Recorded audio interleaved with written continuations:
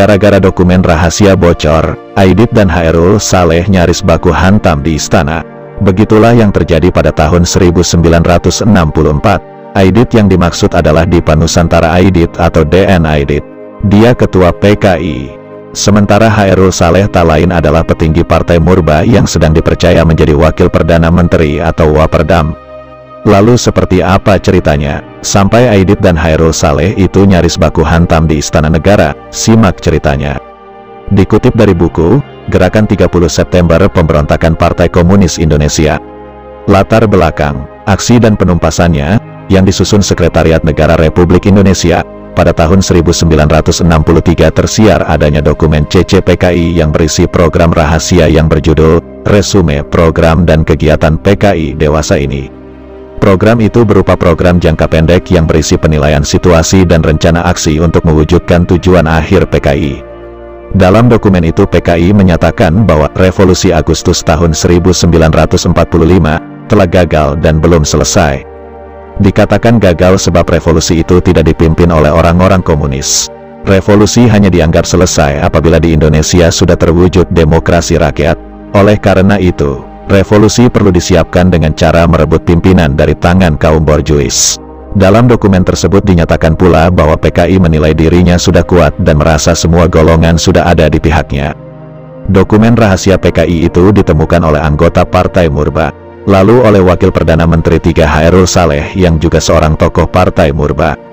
Dokumen itu diserahkan kepada Ketua Umum DPP PNI, Ali Sastroamijoyo. Selanjutnya, dokumen itu dipaparkan dalam sidang kabinet pada awal bulan Desember tahun 1964. Ketika itu, Ketua PKI, DN Aidit membantahnya dan dengan berbagai dalih mengatakan bahwa dokumen tersebut adalah dokumen palsu. Buatan kaum Trotskis, yang dibantu kaum Nekolim berusaha untuk menghancurkan PKI. Ketika itu, Hairul Saleh dan Aidit nyaris baku hantam, tapi kemudian ditengahi oleh Presiden Soekarno. Keduanya dibawa ke sebuah ruangan di istana untuk didamaikan.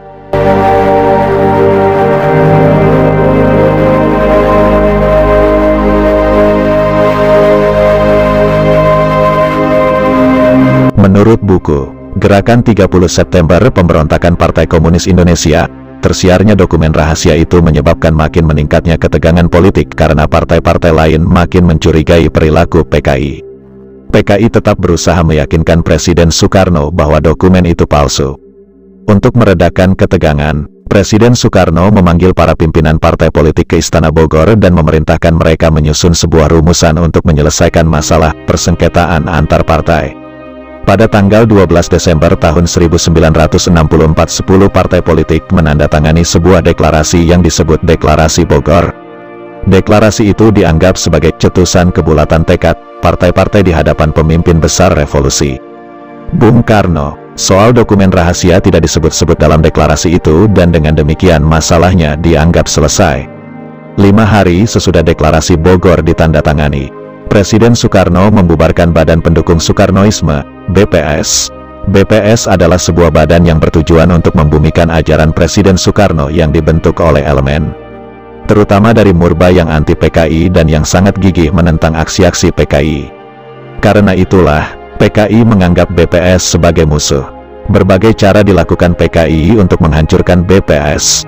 Cara yang dipakai PKI adalah dengan membuat fitnah bahwa BPS sengaja dibentuk untuk menyelewengkan ajaran Presiden Soekarno dan bahkan berusaha memusnahkan ajaran Presiden Soekarno.